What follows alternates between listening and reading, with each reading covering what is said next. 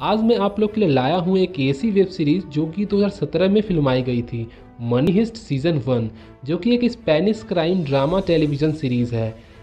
इस कहानी का मेन किरदार होता है एक ऐसा शख्स जिसकी प्लानिंग देखकर कोई भी दीवाना हो जाए। तो चलिए दोस्तों, ले चलता हूँ आपको उस कहानी की ओर। सीन शुरू होता है और हमें एक शख्स को दिखाया जाता है, जिसका नाम होता है प्रोफेसर, जो दुनिया की सबसे बड़ी चोरी करने का प्लान बहुत सालों से बना रहा होता है। उस ऐतिहासिक चोरी को अंजाम देने के लिए प्रोफेसर कुछ ऐसे शख्स को चुनता है जो कुछ अलग अलग कामों में माहिर होते हैं और उनका नाम शहरों के नाम पर रखा जाता है। मेन भूमिका में नज़र आती है टोक्यो, जो कि पहले बहुत सारे चोरियों को अंजाम दे चुकी होती है। बर्लिन, जो कि प्रोफेसर का भाई होता है और उस ऐतिहासिक चोरी का इंचार्ज बनाया जाता है। मास्को और डेनवेर, जो कि बाप बेटे की भूमिका में होते हैं जिसमें मास को तिजोरी खोलने में माहिर होता है। रियो, जो कि हैकिंग की दुनिया का बादशाह होता है, ओस्लो और हेलसिंकी जिनका दिमाग तो कम, पर हाथ ज़्यादा चलता था, क्योंकि दोनों पेशे से पहलवान होते हैं। और एक हसीन लड़की, नैरोबी, जो कि नकली नोट छापने में एक्सपर्ट होती है। कहानी का मेन एलिमेंट होता है रॉयल मिंट ऑफ़ स्पेन, जहाँ पर पैसा छापने की मशीन होती है। तो प्रोफेसर और उसकी टीम की प्लानिंग होती है, उसी रॉयल मिंट पर डाका डालना और ढेर सारे पैसे छाप कर निकल जाना। प्रोफेसर उस ऐतिहासिक चोरी को अंजाम देने के लिए पाँच महीनों तक अपने टीम को ट्रेनिंग देता है। प्रोफेसर चोरी के दौरान हो सकने वाली सारी गलतियों और उसके रिज़ल्ट पर डीपली स्टडी करता है, ताकि वे लोग चोरी के दौरान पकड़े न जा सके और कोई भी खून खराबा ना हो पाए। प्लान के मुताबिक प्रोफेसर की टीम रॉयल मिंट के अंदर पुलिस को बंदी बना नकली पुलिस बनकर घुस जाती है और अंदर मौजूद सभी होस्टेजों को बंदी बना लेती है और प्रोफेसर बाहर रहकर उस प्लान को ऑपरेट करने लगता है। प्रोफेसर और इसकी टीम एक दूसरे से लैंडलाइन के थ्रू कनेक्ट रहते हैं, ताकि कोई बातों को हैक कर सुन न सके। रॉयल मिंट के अंदर उनकी टीम रेड कलर का पोशाक तथा एक खास मास्क पहन लेती है और कैद सारे होस्टेजों को भी वही पोशाक और मास्क पहना देती है, ताकि कोई गलती भी हो जाए तो चोरों की पहचान नहीं की जा सके। प्रोफेसर का प्लान बिल्कुल ट्रैक पर होता है। शुरू में ये लोग पुलिस को यह दिखाते हैं कि ये लोग सिर्फ़ पैसा लूटने आए हैं। इसके लिए वे लोग थोड़ा पैसा बैग में डालकर रॉयल मिंट से बाहर निकलते हैं और पुलिस के ऊपर हवा में फायर करते हैं। पुलिस की जवाबी कार्रवाई में पुलिस उन पर गोलियाँ चलाती है, जिनमें रियो घायल हो जाता है। ये सब प्रोफेसर के प्लान का एक हिस्सा होता है। तभी सीन में एंट्री होती है रकेल का। जो कि पुलिस इंस्पेक्टर होती है और उसे इस केस का इंचार्ज बनाया जाता है। दूसरे सीन में इंस्पेक्टर रकेल से प्रोफेसर सालवा के नाम से मिलता है और धीरे धीरे उनमें नज़दीकियाँ बढ़ने लगती है और उन दोनों को एक दूसरे से प्यार हो जाता है।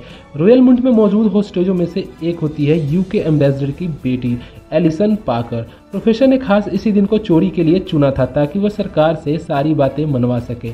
इधर रॉयल मिंट में प्रोफेसर का टीम पैसा छापना शुरू कर देती है और हर घंटे 8 मिलियन यूरोस के हिसाब से पैसा छापने लगते हैं।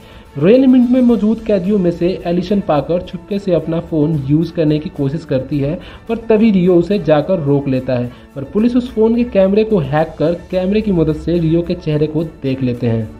इधर कैदियों में से एक होता है आरतूरो, जो कि रॉयल मिंट का मैनेजिंग डायरेक्टर होता है। जिसका किसी दूसरे कैदी मोनिका के साथ अफेयर चल रहा होता है। आर्तुरो मोनिका से अपना सेकेंडरी फ़ोन लाने को कहता है, जो कि उसके ऑफ़िस में रखा होता है। मोनिका उसका फ़ोन लाने में कामयाब तो हो जाती है, पर फ़ोन की घंटी बजने के कारण बर्लिन उसे पकड़ लेता है। बर्लिन डेनवर को उसे मारने का आदेश देता है, पर डेनवर उसे दूसरे रूम में ले जाकर उसे मारने के बजाय उसके पैर पर गोली मारता है। ताकि सबको गोली की आवाज़ सुनकर ये लगे कि उसने उसे मार दिया है। फिर वो मोनिका को दूसरे रूम में छुपा देता है। इधर पुलिस टोक्यो का चेहरा पहचान कर लेती है और उन्हें फिर टोक्यो और रियो के अफेयर के बारे में पता चलता है। फिर मास्को और डेनवर होस्टेज के हाथ में नकली बंदूक और मास्क पहनाकर रॉयल मिंट के छत पर हवा खाने के बहाने जाते हैं। ऊपर पहुंचकर आर्तुरो को मोनिका के मौत के बारे में पता चलता है, जिससे वह गुस्सा होकर नकली बंदूक डेनवर पर तान देता है। तभी पुलिस उसे चोर समझ उन पर गोलियाँ चला देती है और गोली जाकर आर्तुरो के कंधे पर लगती है, जिससे वह घायल हो जाता है। प्रोफेसर पुलिस को फ़ोन कर डॉक्टर की मांग करता है ताकि उसके होस्टेज आर्तुरो को बचाया जा सके। तभी डिप्टी इंस्पेक्टर एंजल कुछ डॉक्टर के साथ खुद डॉक्टर की भेस में रॉयल मिंट के अंदर आर्तुरो को ऑपरेशन करने जाता है और इस दौरान प्रोफेसर की टीम चेकिंग के दौरान डिप्टी इंस्पेक्टर एंजल के चश्मे को अपने कब्जे में लेकर उसमें एक छोटा सा माइक्रोफोन फिट कर देता है। क्योंकि प्रोफेसर को उस डिप्टी इंस्पेक्टर के बारे में पहले से ही पता होता है। इसी दौरान रकेल की पुलिस टीम एक अंडरग्राउंड टनल की मदद से अंदर जाने का प्लान बनाती है। इनका प्लान यह होता है कि लुटेरों की पोशाक और मास्क पहनकर उनमें घुल मिल जाना और उनका यह प्लान प्रोफेसर को पता चल जाता है और अपने टीम को वह नए तरह का मास्क पहनने को कह देता है। एंजल बाहर जाकर यह बात इंस्पेक्टर रकेल को बताता है और उनका अंदर जाने का प्लान फेल हो जाता है। मास्को और नेरूबी को मोनिका के ज़िंदा होने के बारे में पता चलता है और वह बर्लिन को बताने की बजाय डेनवर की मदद करने लगती है। जब प्रोफेसर को बर्लिन की मनमानी करने के बारे में पता चलता है तो वह उसे सजा देने को सोचता है।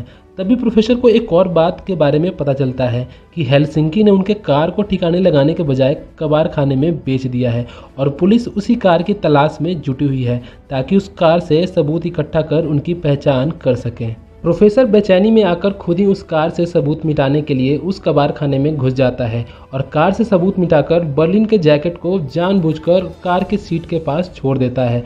ताकि वह बर्लिन को उसके मनमानी करने की सज़ा दे सके। पुलिस उस जैकेट की बटन की मदद से बर्लिन के सही आइडेंटिटी के बारे में पता लगा लेती है। इधर रकेल सभी कैदियों की सही सलामती की जानकारी लेने के लिए प्रोफेसर से आदेश लेकर रॉयल मिंट के अंदर आती है।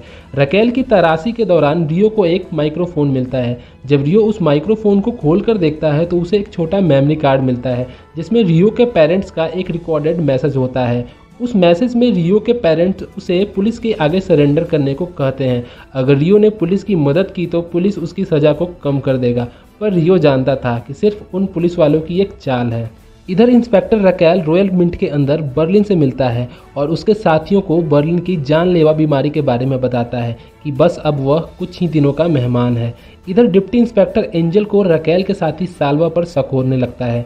यह सालवा से मिलने उसके बताए हुए घर पर मिलने जाता है और चोरी से एक चम्मच चुरा लेता है ताकि वह प्रोफेसर का फिंगरप्रिंट निकाल सके। एंजल यह बात जाकर इंस्पेक्टर रकेल को बताता है कि उसका साथी सालवा पर उसे शक है।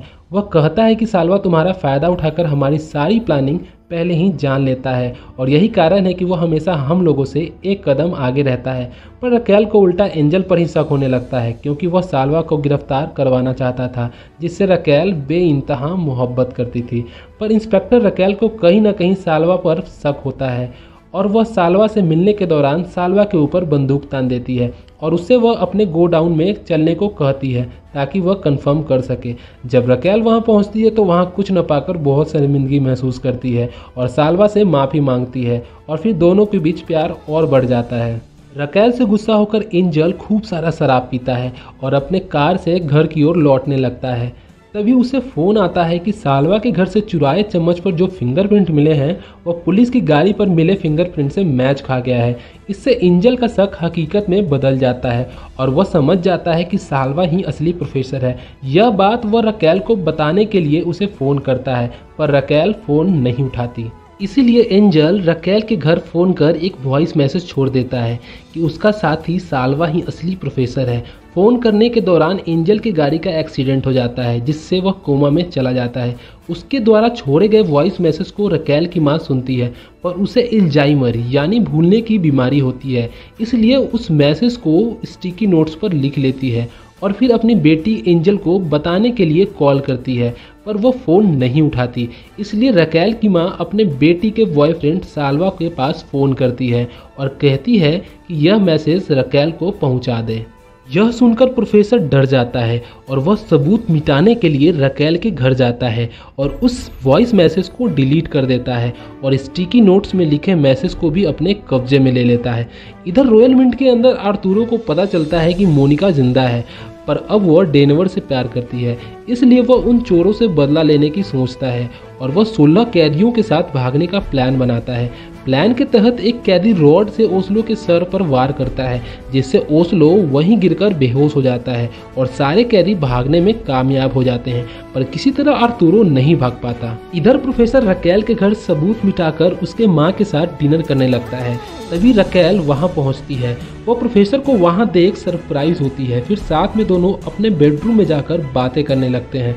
तभी रकेल की दिमाग की बत्ती जलती है और वही होता है उस सीज़न का टर्निंग पॉइंट रकेल सोचती है कि इतनी बड़ी प्लानिंग को अंजाम देने के लिए उनको किसी जगह की ज़रूरत पड़ी होगी, जहाँ वे सब ट्रेनिंग कर सके। वो अपने पुलिस टीम को फ़ोन करके कहती है कि रॉयल मिंट के आसपास सभी ऐसे घर को ढूंढे जहाँ ट्रेनिंग करने के लिए काफ़ी जगह हो और वह जगह एकांत हो। पुलिस रकेल को फ़ोन कर एक घर के बारे में बताते हैं कि वह शायद उन चोरों का अड्डा हो सकता है रकेल सालवा को साथ लेकर उस जगह पर पहुँच जाती है। जब दोनों वहाँ पहुँचते हैं तो रकेल सालवा को बाहर छोड़ फोरेंसिक टीम के साथ अंदर चली जाती है और सबूत इकट्ठा करने लगती है और इसी के साथ खत्म होता है मनी हिस्ट का सीज़न वन। तो दोस्तों, वीडियो में बने रहने के लिए थैंक यू सो मच अगला वीडियो मनी हिस्ट सीज़न दो में आपके सामने जल्द लाऊँगा।